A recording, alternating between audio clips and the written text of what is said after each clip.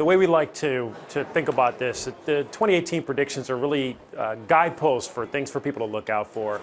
If I'm a consumer, what I'm looking out for this year is we're coming off one of our most connected Christmases ever. In my own house, I got a, a connected coffee mug that has an app that allows you to change the heating settings for to keep the coffee warm. So I'm reminded of how connected Christmas was.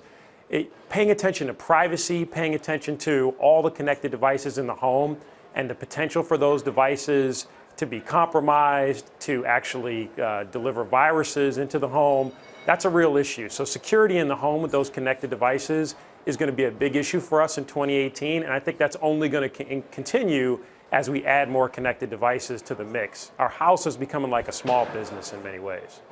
And that was a topic that came side. up in, in, the last segment. Uh, just to follow up on that really quick before we get to sure. the corporation side. So, if you're aware of this, your home is becoming more connected with all the devices from the coffee mugs to maybe the Alexa enabled devices. What do you do as a consumer to keep yourself safe if you want to use this, if you want to connect your home? I think the first, the most important thing you can do is be aware that these connected devices have risks. You should absolutely use them. There's a lot of great functionality, a lot of good reasons to use the connected devices. But do things, for example, like when you set up a new device, make sure you reset the password. Don't use the default password as an example. Um, you should use security tools in your home to make sure that you're protecting against attacks that could happen. There's a lot of different ways you can protect yourself, but the most important thing to do is get educated. It's like any tool any vehicle you would use in your home, you want to make sure you pay attention to safety first.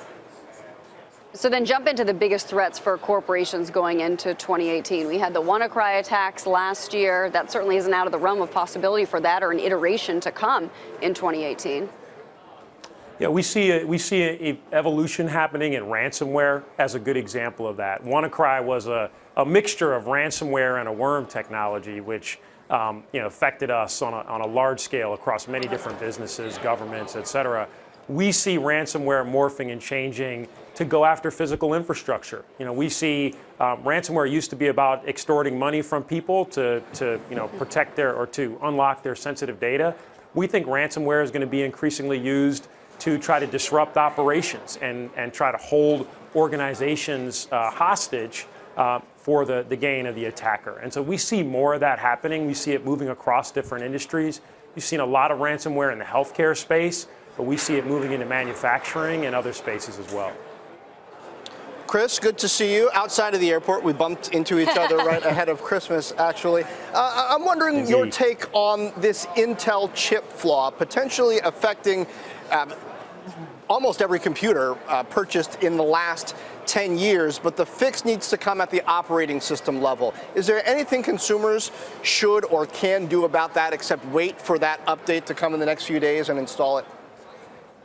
Well, the first thing I'd say, John, is we're still learning a lot of the details uh, about this. Much of it isn't out there in the public domain, so I think there'll be more to talk about and more to learn as the details become uh, public.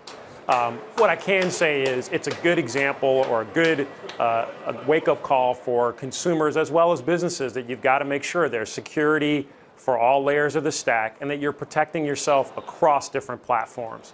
I can't stress that enough, right? I mean, you can't just focus on Windows. There's Linux, there's cloud platforms, there's a variety of different places where security matters. And that's one of the reasons why holistic security, security across the stack is truly important here. Hey there, thanks for checking out CNBC on YouTube. Be sure to subscribe to stay up to date on all of the day's biggest stories. You can also click on any of the videos around me to watch the latest from CNBC. Thanks for watching.